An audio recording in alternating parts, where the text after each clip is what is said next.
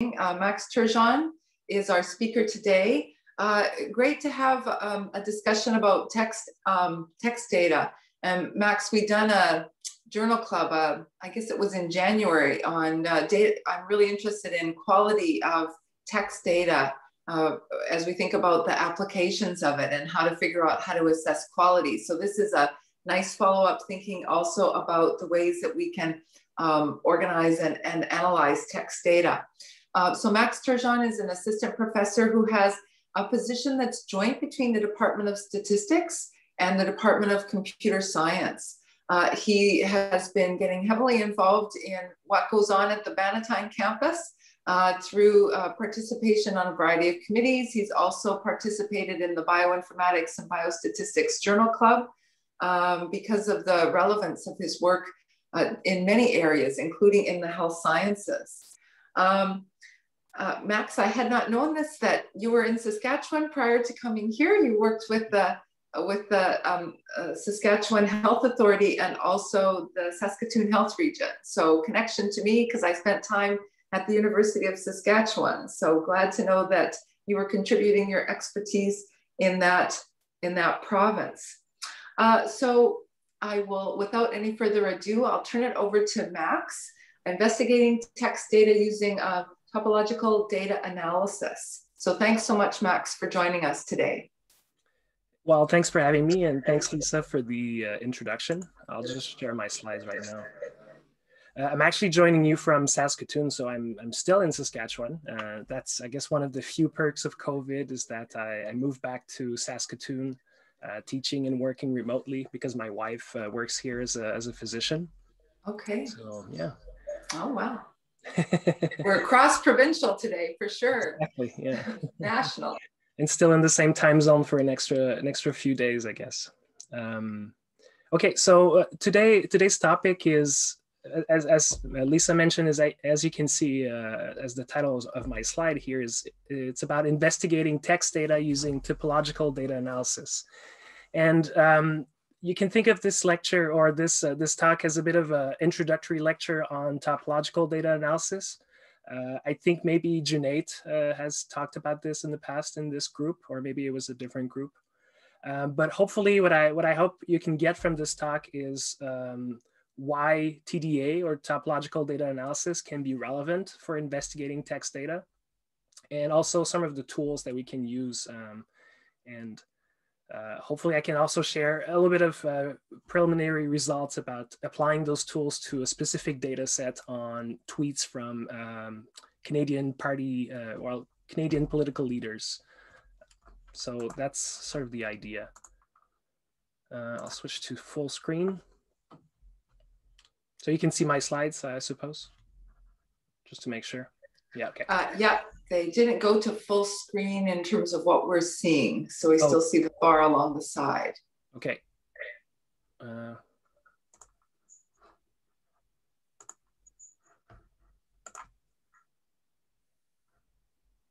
is that better? Yeah, yeah, it is. It's gone to the, yeah, we're on the motivation slide. Yeah, it's Excellent. good. Thanks. So so the I guess the inception or the origin of this uh, this project is uh, in my applied multivariate analysis course. There was so students have to analyze a data set of their choice. So they really have full freedom freedom in terms of finding a data set that interests them, so that they can apply the tools uh, from my multivariate analysis course. And one student in particular uh, found a very original and different data set. So his name is Joshua Hamilton um, he wanted to analyze tweets from Canadian party leaders because the uh, the federal election had just finished, and he was interested in particular to figure out if uh, multivariate analysis tools could uncover the main debate themes solely from the text data, right? So only looking at um, at the at the tweets themselves can we categorize them or classify them into the main themes that were covered during the, the debates. Um, and actually, this project was uh, later further expanded uh, into an honors thesis. So, so Joshua actually uh, completed his honors thesis in computer science using this, this data set. And the, the conclusions were a bit um, unsatisfactory, I think. So yes, for some of the themes, he was actually able to, to make that connection, which was interesting.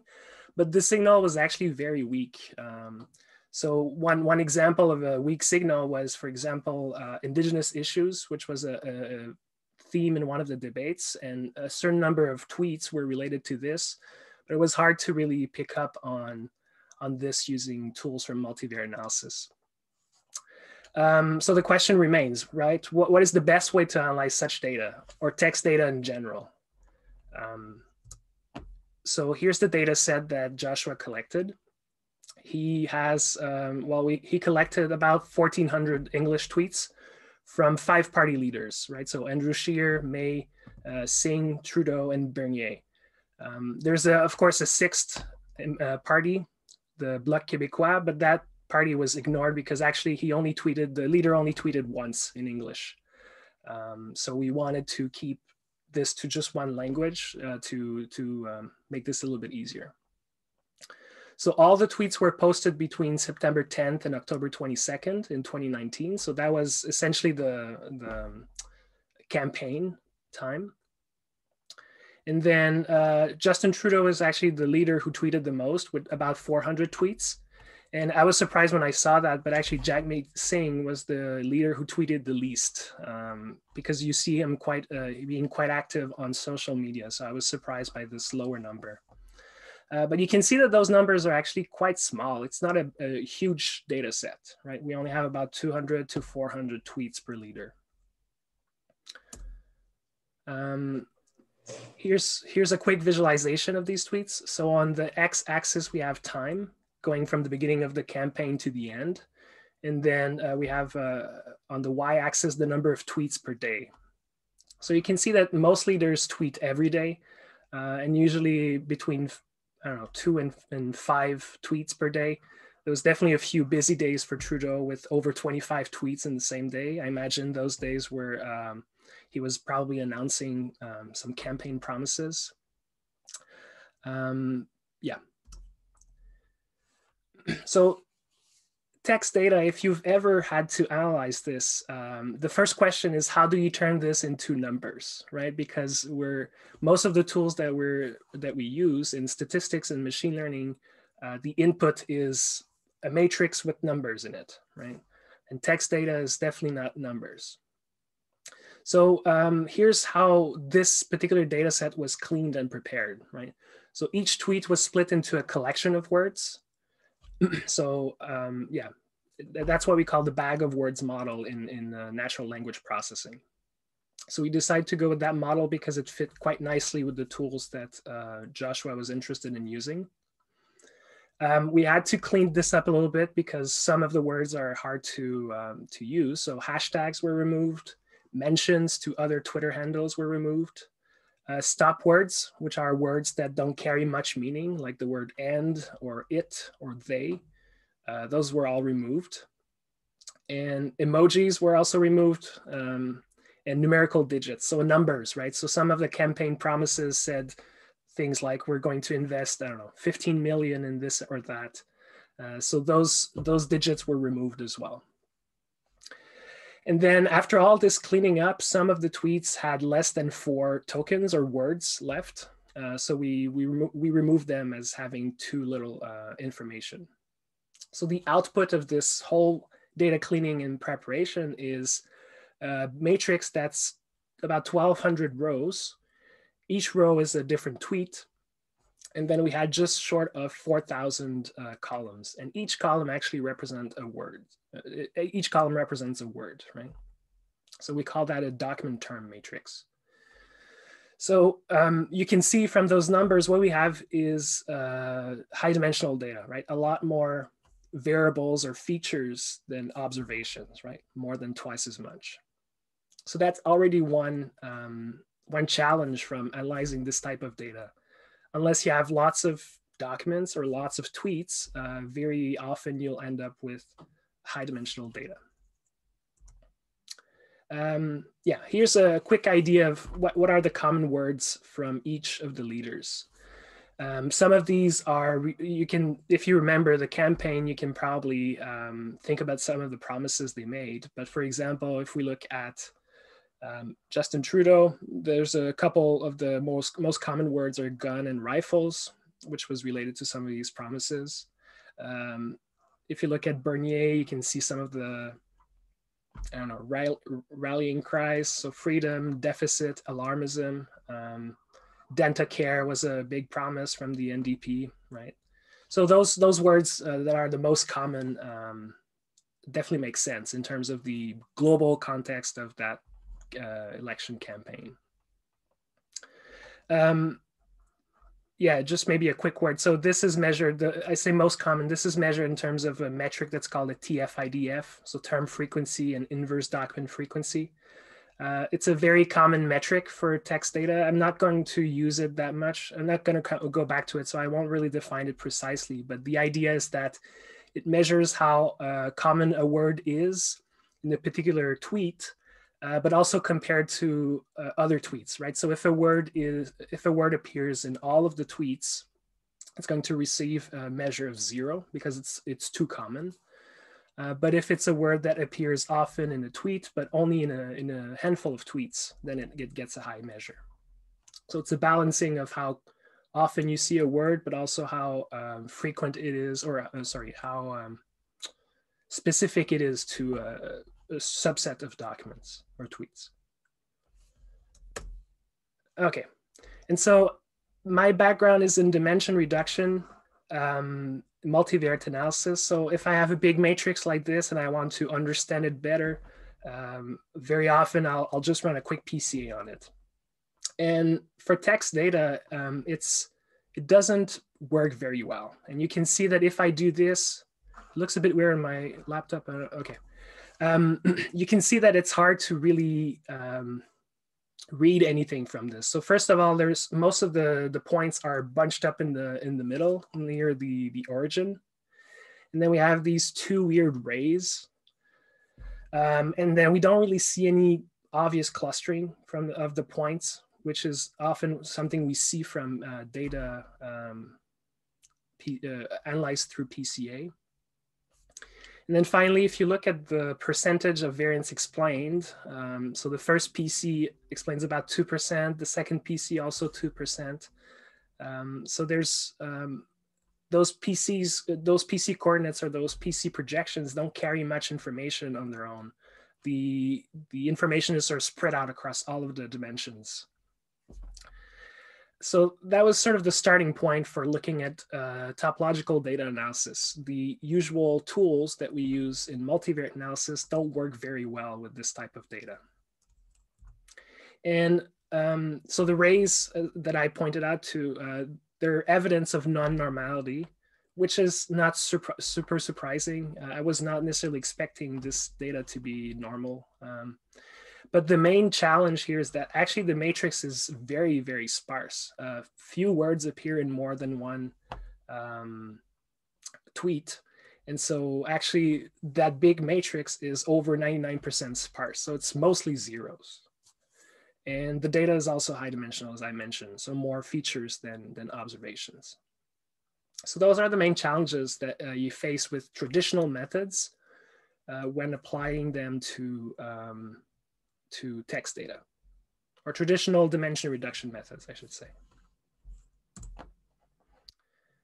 Okay, so um, as I mentioned, this, this idea that we have high dimensional data uh, very often, as at least as statisticians, will quickly jump to um, this curse of dimensionality, right? So high dimensional data suffers from the curse of high of dimensionality. What does this mean? It means that there's lots of empty space in high dimensions. So neighboring observations are actually quite far apart.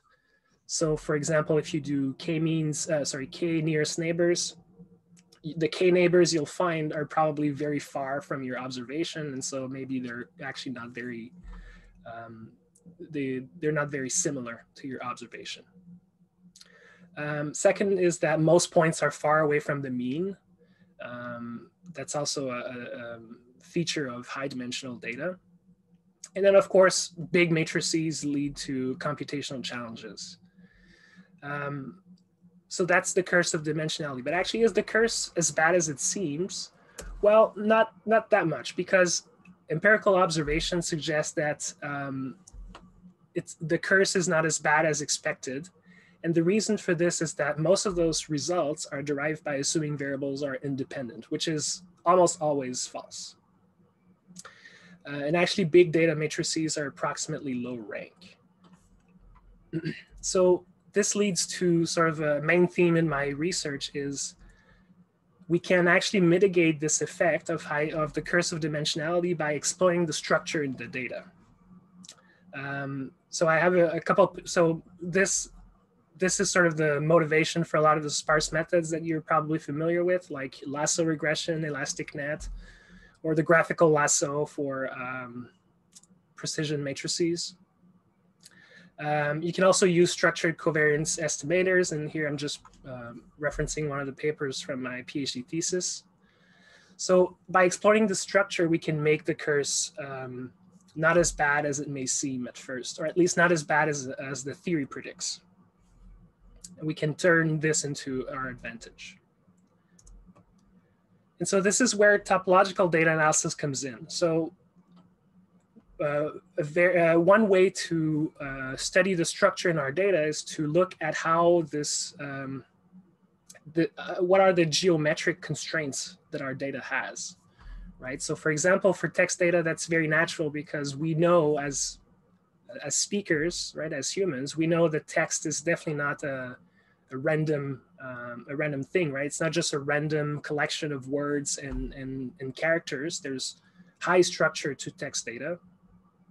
Um, and so we expect this to be part of the of the of the data set that we analyze, right? We, we expect to be able to recover that structure.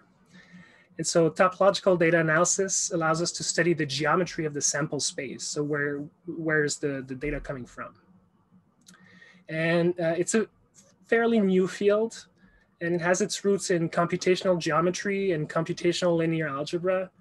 Um, and of course, uh, some branches of, of pure mathematics as well. But it's, it's been su successfully used to study constraints in the sample space. Uh, I'll give a few examples later on. Um, some examples come from natural pro uh, language processing, but it's been used in many, many fields. In genomics, it's been used in to understand the output of fitting deep neural networks and understanding uh, targets for adversarial attacks, for example, um, etc. So today, what I want to do is to talk a bit about topological data analysis in general, how we can apply it to text data. Um, but I want to focus on two different techniques uh, from this field. The first one is called persistent homology. And then the second one is called the mapper algorithm. Uh, and if, if Junaid, I, I, can't remember if Junaid gave a talk, but I suspect he probably focused on the mapper algorithm. Okay. Any questions so far?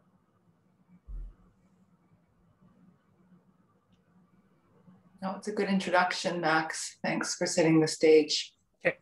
Yeah. So here's a, a crash course in algebraic topology. So uh, my background is in, in my, uh, when I did my undergraduate studies, I was actually a student of pure math and then I did a master's in pure math. So I, I took lots of courses in those fields of pure mathematics, but I, I know that's um, un uncommon. So hopefully I can give you a sort of quick idea of what uh, algebraic topology is because it's sort of a foundation for the, the methods in topological data analysis. So topology is a field of pure math and the idea is to study shapes um, or yeah, shapes or uh, geometric shapes, but independently of coordinate systems or distance functions, which is usually uh, or, or, the first the first way we learn about how to study shapes. And I remember one of one of my teachers used to call it primitive geometry. So it's a geometry without the coordinate systems. And so that's topology as a field. And then as a subfield, we have algebraic topology. And the idea of algebraic topology is to bring in tools from abstract and linear algebra to study and classify shapes. And um, one of the techniques in algebraic topology is called homology, which is related to one of the tools I'll talk about. But the idea of homology is that if I have this geometric shape or this geometric space, I want to be able to attach a series of vector spaces to it. And um, those vector spaces are sort of well coordinated together. they're also invariant under um, continuous transforma- uh, deformations of our data. So if I have, for example, um, a donut shape and I slightly bend it, right? It's essentially the same the same shape, and so homology says that those um, numbers, or sorry, those vector spaces shouldn't change when I slightly bend my my donut. Uh, but we'll be focusing on not the whole space itself, but the dimension of these vector spaces. And those dimensions are called the Betti numbers. And um, we attach, uh, so essentially we have uh, for any natural number from zero to infinity, we could attach those vector spaces to our geometric shapes.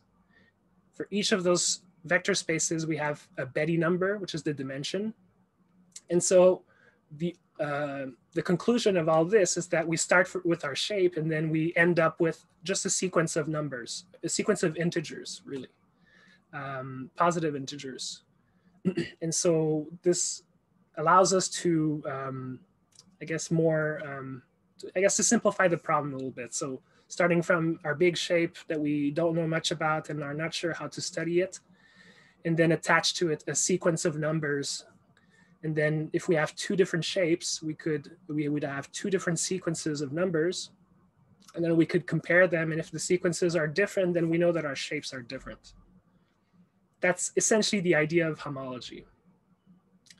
Um, but the Betti numbers also count important topological features. So the zero, zeroth Betti number counts the connected components.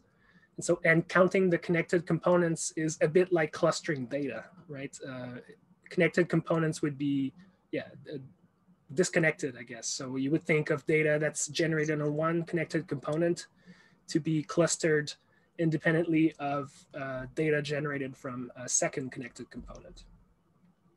So those, those are important. And then the first Betti numbers count the number of holes and then cavities and other topological features of our data set, uh, of, our, uh, of our shapes. So that was a quick, yeah, a crash course, as we say, right, in algebraic topology. Um, but so far I've only talked about shapes. So where's the data? So here's the main assumption we'll make, is that we'll assume that our high dimensional data lives on or near a lower dimensional uh, space that I call the manifold, right? Um, and so that's one way to model the data constraints that we have in our data set. Um, so a finite data set itself is not a very interesting topological space. So the, the main idea of persistent homology and many of the tools in, in topological data analysis is that uh, we'll construct a different topological space using our data set. That topological space is what we call a simplicial complex. And I'll, I'll explain what it is in a, in a, on the next slide. And those simplicial uh, complexes are very interesting topological spaces. Uh, we know lots about them. And in particular, we can compute those Betti numbers uh, quite efficiently, actually. so that's our main assumption here. Uh, that, that's connecting the high dimensional data to topological data analysis we're assuming that our, our data is not just filling up this whole high dimensional space, but rather it's living close to a lower dimensional space, yeah, lower dimensional manifold.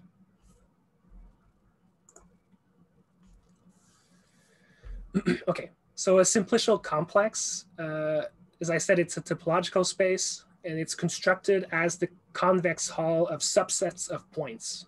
And that's what we call the simplex so a convex hull is the largest convex, uh, sorry, the smallest convex um, space or shape that contains all of our all, of our points. And um, that's not just what there's also a like a list of um, conditions that are attached to this. It's not just a collection of of simplices. Uh, there's also some internal consistency rules that they have to satisfy, but I'll, I'll skip those uh, for the moment. I'll, because I'll show you a couple examples of those. So there's many ways of constructing simplicial complexes from um, a set of points, but we'll consider two constructions here. And there's going to be a, a free parameter here called r, which is a radius. Excuse me. So the first one is the Čech complex. And uh, the way to construct it is that the data points themselves uh, will be simplices. So there's, there's zero dimensional simplices. And then for a subset of k points, we can put an open ball of radius r around each of those points. And if the intersection of, um, of those balls, so we have k balls, if the intersection is non-empty, then uh, we consider the convex hull of those k points to be a simplex in our simplicial complex. I have a picture on the next slide. uh, the other construction we'll consider is the Vietoris-Rips complex. And the starting point is the same. So each data point is a zero uh, dimensional simplex. And then a subset of k points will be considered a sub, uh, or its convex hull will be considered a simplex if all of the points are at most a distance of 2r apart of each other. So those two things are slightly uh, different. And here's a picture maybe uh, to clarify this. So here I have, um, I fixed R, I have six points. And around each of those six points, I'm putting uh, a ball, right? So an open disk around them. And you can see here on the, uh, well, I guess on both slides that um, there's a triangle here. well, I guess, okay, but first of all, let me backtrack a little bit. So our zero, uh, zero dimensional simplices are the points. And then we can look at each pair of points. And if um, if for those two points, those open balls intersect, then we have a one dimensional simplex, which is just uh, a line segment. Next, we can look at triples of points. And if, so on the left for the Čech simplex, if the intersection of the three disks is non-empty, then we have a two-dimensional simplex, which is a triangle here. So you can see that there's a triangle on the, on the right, which is pink because the intersection is non-empty. But uh, we have a triangle that's not pink on the left because the intersection of those three uh, disks is actually empty, right? We can see that they don't intersect, all three don't intersect. And so the difference between the Čech and the RIPS complex is that uh, even though the three balls don't intersect on the left, uh, the points themselves are still at most, they're still less than 2r distance apart. And so um, those two constructions can actually give us different um, uh, simplicial complexes.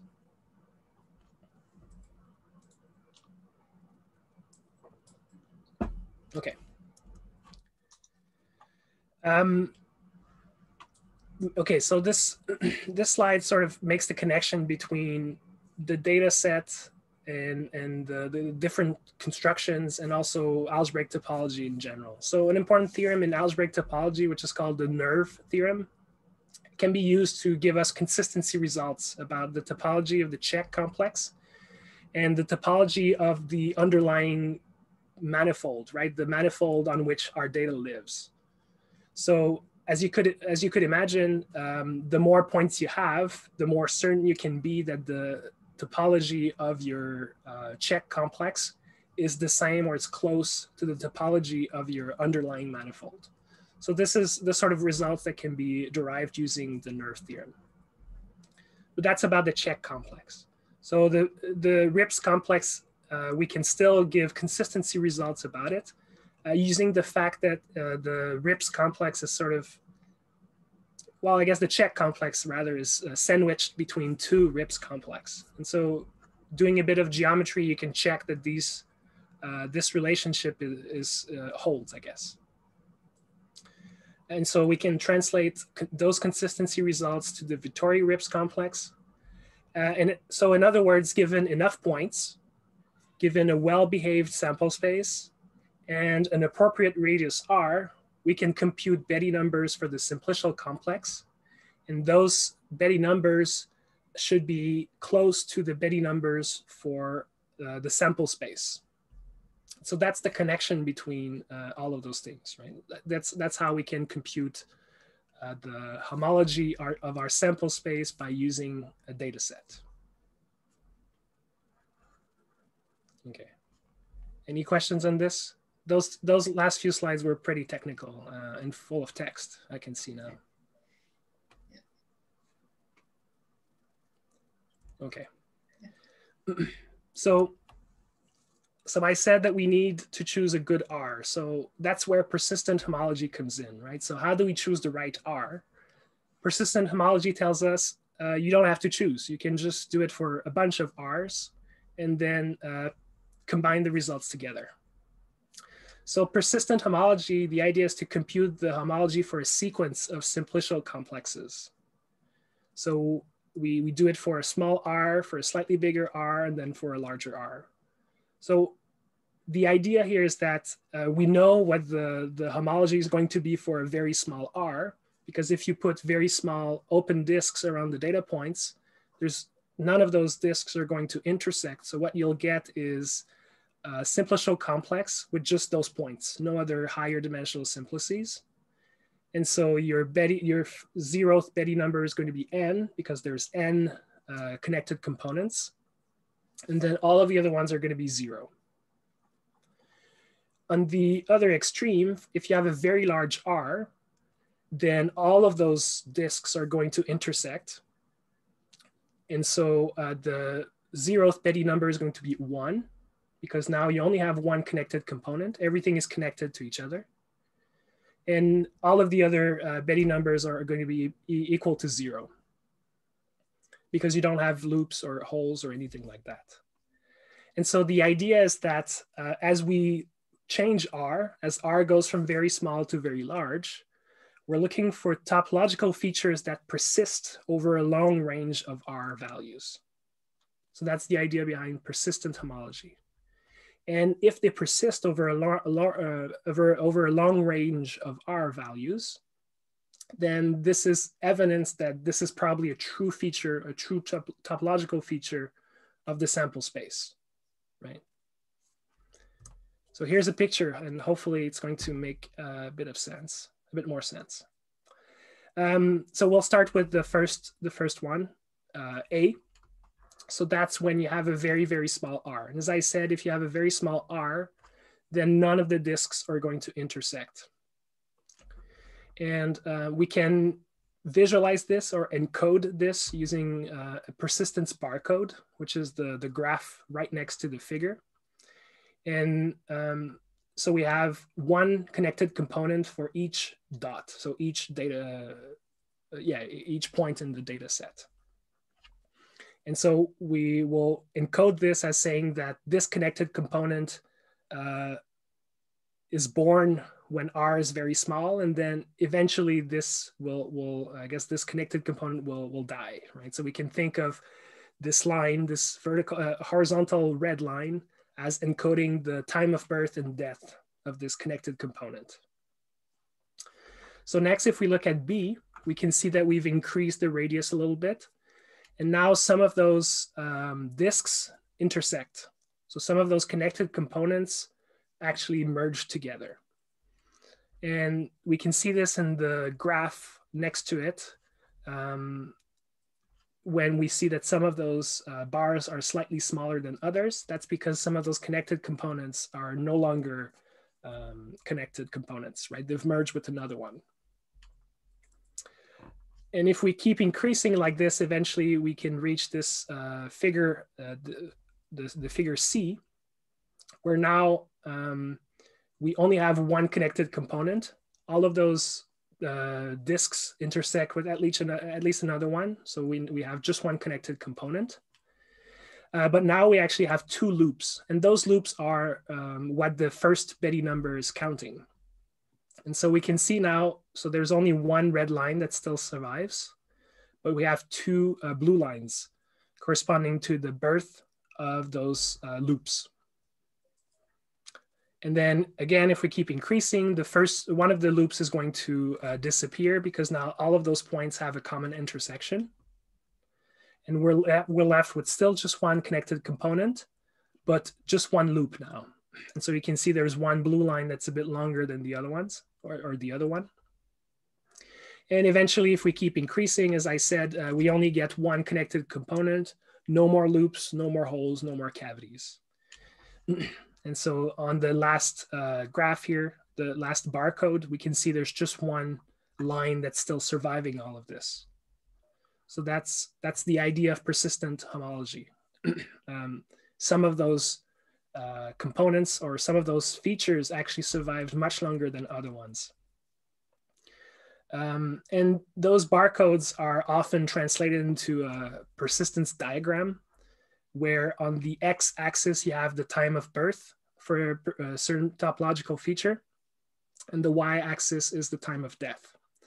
So if you have points on the diagonal, those would be uh, points that uh, are born and die very quickly, right? So that they don't uh, persist over a long range, they actually appear and then disappear right away.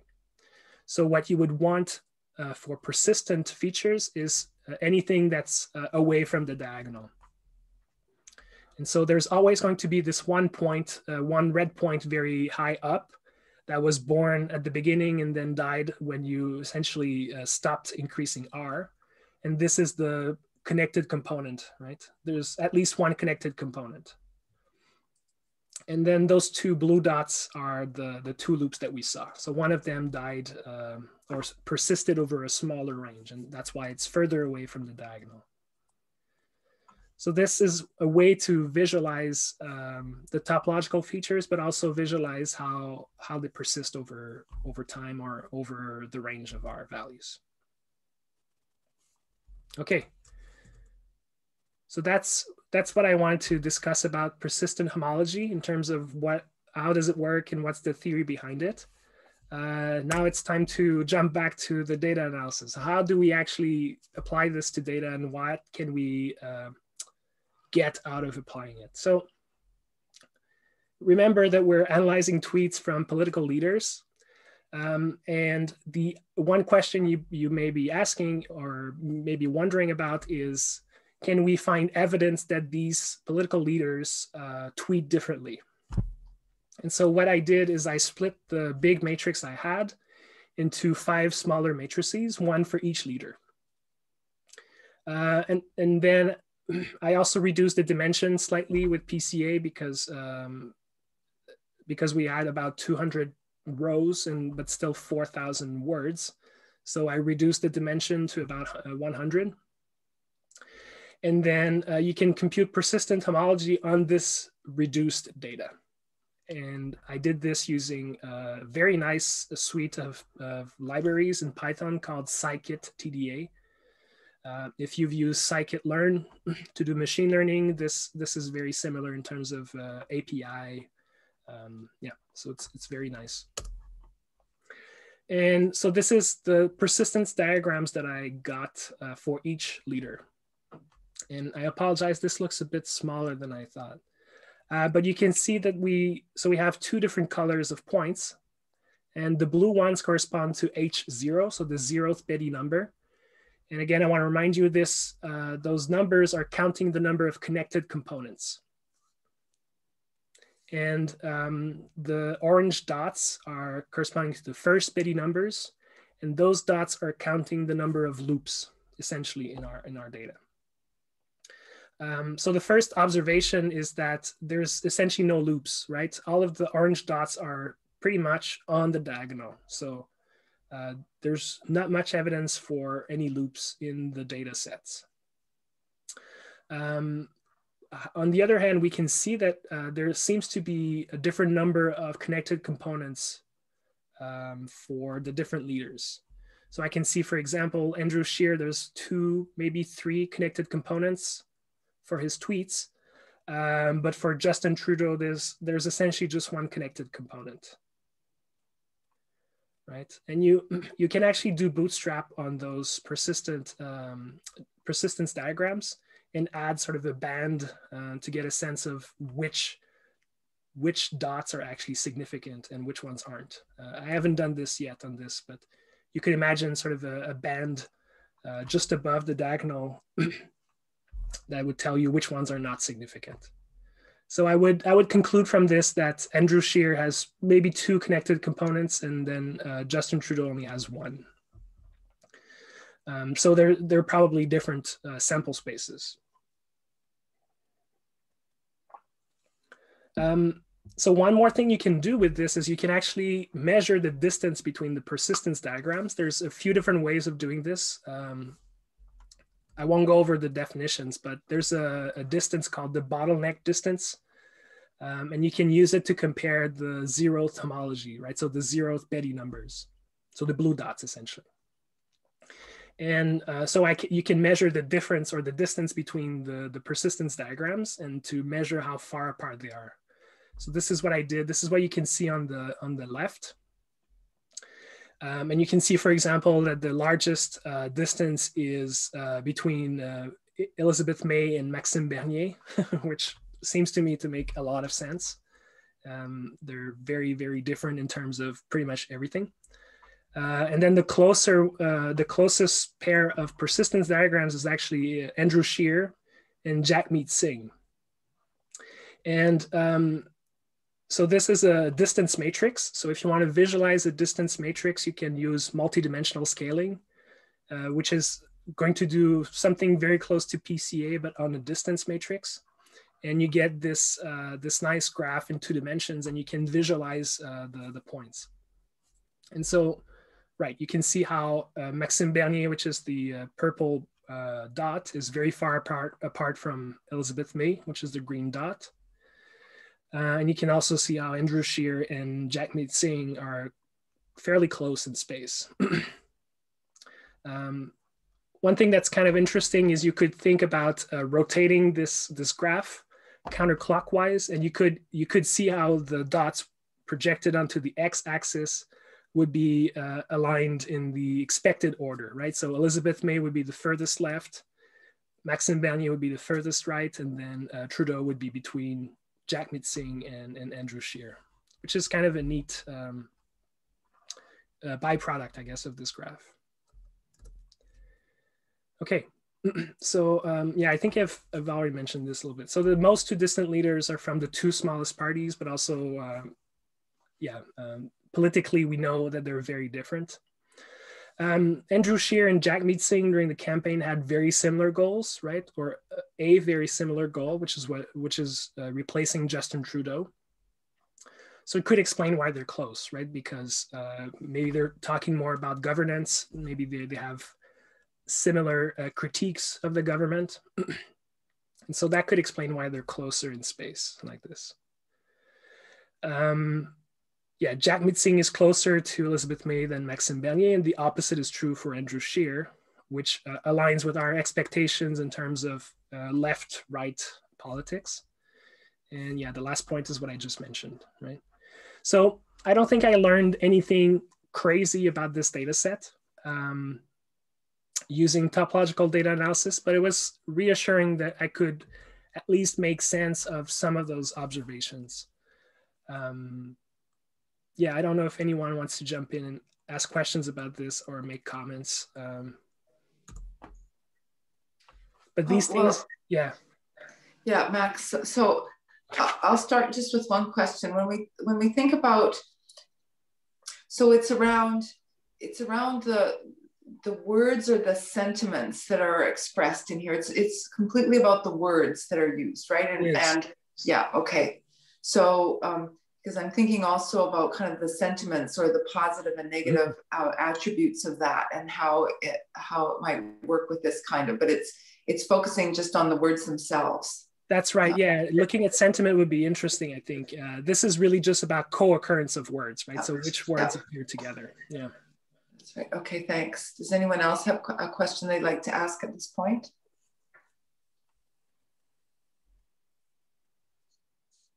No so more yeah okay so maybe i'll just continue then um, yeah thanks. so more generally uh, so th this was using persistent homology on this particular data set but more generally it's being used also for feature extraction in text data.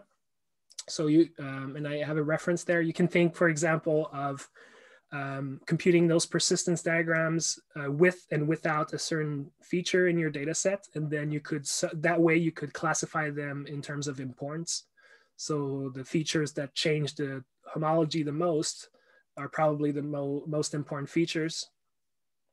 So that's one way to do this. Um, you can, it was also used for document uh, clustering and classification, um, which is also a, an interesting use of persistent homology for text data. Um, persistence diagrams are actually, they can be used themselves as features, uh, especially they work well with kernel methods uh, for prediction. So I haven't really explored this, but this is one avenue uh, for using this in, in, in, data analysis and prediction models. Uh, and then of course, uh, this is for text data, but it's gaining popularity in, in other fields as well. So social network analysis, change point analysis, analysis of time series, analysis of uh, genomic um, data. And as I alluded to, also understanding deep neural networks and trying to find targets for adversarial attacks uh, or understanding the activation network of, of some of those uh, deep models. So it's, it's used in many, many different ways. Um, my experience so far with this method is that it's much more exploratory than anything else. Um, but it can be a good way of looking at your data differently and hopefully getting a somewhat different insight that other methods would give you. Okay. Um, right, I, I, thought I would actually go through those slides much quicker than this. so let's talk about the, the second algorithm. Um, so the mapper algorithm, which is probably where, uh, or the starting point for why TDA was, was uh, has, has, gained uh, popularity recently. So it's a way to visualize high dimensional data. Um, and of course, PCA and manifold learning is also a way to visualize high dimensional data. Um, so you can think of these as being complementary in that aspect. Uh, but the, the main idea is that we want to study our data set by looking at its uh, projection or its image under a function f that we choose. And I'll, I'll explain which functions you can choose. so here's the, the main algorithm is you start with the data, you start uh, the data set, you start with a function f, and then um, the image of your data set under this function f, uh, you want to cover it by, with a set of intervals. So I'll call this set of intervals uh, u, right? So the first step is that for each interval u, so that's that's an interval on the real line, you can look at its pre-image in uh, by using f. So essentially what you're looking for is all of the points in your data set that are mapped into onto this interval u. And so you get a subset of your data set and then uh, yeah, okay, yeah, and then you cluster this this subset of your data set. And for each of the clusters that you found that you found, you can draw a node, right? So we're going to represent our data using a graph. And so you do this for all of your uh, intervals. And so some of those intervals will have overlap in terms of the data that's been projected to it, right? If, because if you have overlapping intervals, there's a chance that you get a point that's mapped uh, to both intervals. And so the nodes corresponding to the cluster, you're going to connect a pair of nodes if, they, if their corresponding clusters have a non-trivial intersection or they have at least one point in common.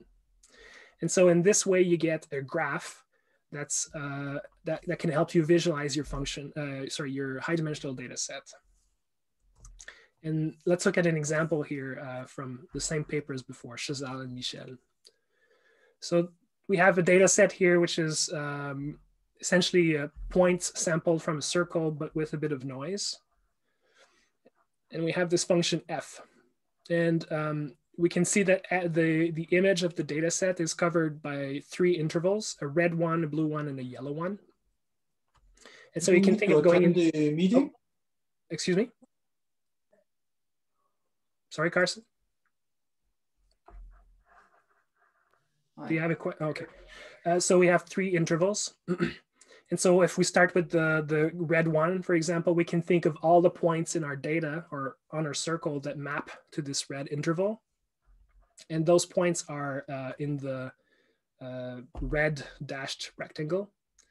And if you cluster this, then um, you can get, I mean, there's essentially just one cluster. so we get one node and that node appears on the extreme right here. And then we can repeat this with the other two intervals. The blue interval, it's the same thing. You only get one cluster and you get one blue point. and then the middle interval, the yellow one, uh, we get two clusters. So we get two points. And then we can go back and see which of those clusters have a non-trivial intersection. And this is how we get our, um, our edges here. And so this is of course a toy example, but you can see how uh, this graph is sort of a cartoon version, I guess, of the original data set, but also of the underlying sample space, right? If you can, if you think of the sample space as a circle, and then the data, the data points are generated from a circle and then with some noise, you can see that this graph looks like the underlying circle. So they should have the same topology, right? Which is the idea here. Um, so you have to choose a few things in the mapper algorithm, which makes it a bit finicky. Uh, you have to choose the set of intervals. You have to choose a clustering algorithm. And so different algorithms will give you different answers. Uh, but you also have to choose F. and so choosing the right function F will have a significant impact on the resulting graph. Um, so common choices, uh, you can use a density function. So if you think of, for example, F being um, multivariate normal density, uh, you could use that to map your points in high dimensional space to uh, a value on the real line. You can also use uh, PCA coordinates. So you could think of doing PCA on your data set and then looking at the first PCA as your projection or as your function F or you could fix the point somewhere in your high dimensional space and then your function f would be the distance uh, from all data points to this fixed point. So those are common choices and they will all give you different graphs. So again, this is very much uh, a data visualization or an exploratory tool more than a, an, an analytical tool.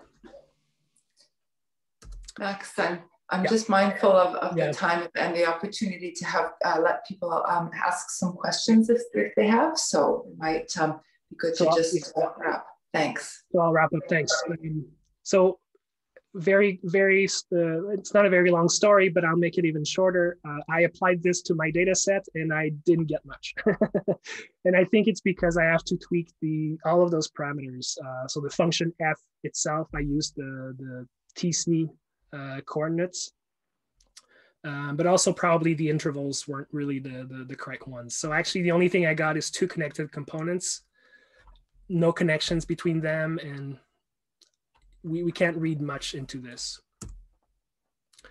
Um, but I know that it's been successfully used for topic detection. And uh, here's a paper by Junaid on Bitcoin ransomware prediction. Um, yeah, so maybe maybe I'll stop here uh, and, and take some questions. Thanks so much, Max. Yeah, all right. So um, I'll open it up for questions people have. So I, I'll start, oh, go ahead.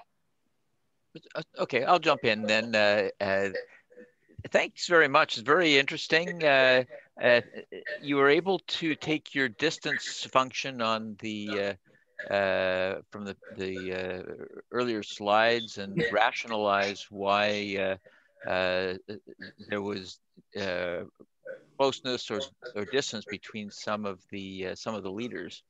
I'm just wondering are you able to dig into those connected components and see uh, what is actually in those connected components and sort of rationalize uh, uh, why those uh, cluster together? Right. So um, I haven't looked into that, but that would be a good natural step. Um, a good natural next step, right? So as I sort of alluded to, one one thing we can do is uh, remove some of those features and see how much it changes the, the persistence diagrams. So that could be one way of figuring out which uh, features or which words are driving the differences between the, um, the, the, diagrams. Uh, but one key question, which is sort of completely uh, missed from topological data analysis is how can you actually reconstruct the manifold, right? So we know there are holes. How do we know where those holes are? Because holes in this particular case for text data will correspond to uh, sets or yeah subsets of words that are never occurred uh, that are never uh, put together in a tweet. So it could give us some information about what some leaders say versus what they don't say. Um, so that would be an interesting byproduct, but uh, uh but unfortunately, it's it's not something that TDA can can help us with. Where are the holes? Yeah, that's the the main question I have. No, thanks. Okay, and maybe I'll ask um, just one question. I wonder too, Max, about so when you think about uh, the tweets that are coming out and the the atypical characteristics of them in relation to other kinds of text, and I wondered also about about how the pre-processing, so hmm. decisions that you made that you make, even about how you deal with because there are a lot of like abbreviations and so forth in the data, and how that might influence the results. Right. So that's, uh, I think that's a very tricky thing to do when you analyze uh, tweet data. Um, this was a small sample, so I could go over and look at maybe some of the abbreviations and see if I could parse them out. Um, but yeah, it's always going to be something, uh, a limitation, I guess, of using tweet data uh, as opposed to political speeches or news articles or things like that. Yeah, yeah, unique characteristics. And I think about how that extends over into things like electronic medical records, like what content is in them, because it would be it would be similar. They're very short texts, mm-hmm. right? So very uh, short um, uh, text and, and, might be filled with a lot of abbreviations and look uh, quite different. Um, yeah. less uh, yeah less just formal than than other kinds of documents so and how that might influence just the performance of methods Okay. Yeah, that's a that's a good observation. Yeah, I'm not sure there's a good solution for it. But, oh. yeah. yeah. Okay. Well, I think um, I think we'll stop at that today. Thank you so much, Max, for leading us through that. Another tool for analysis of text data. Uh, I'm sure raises a lot of questions for people. So okay. thank you so much. And uh, Bill, you've given us a teaser about what's coming next. next yep. Month. Watch for watch for the invite. It'll be fun. Okay, great. Yeah. Then thanks everybody for joining today. Thanks. Thanks for having me. Bye, everyone. Yeah. Thank okay, Bye. thank you so much.